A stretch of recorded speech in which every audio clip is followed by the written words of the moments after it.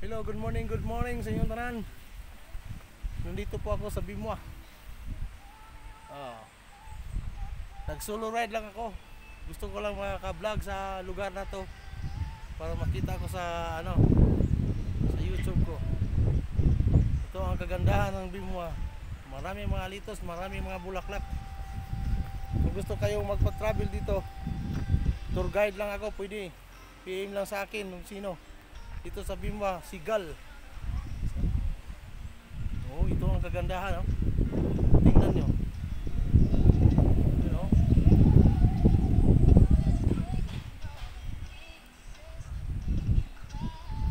Nag-iisa lang akong rider para maka-vlog dito.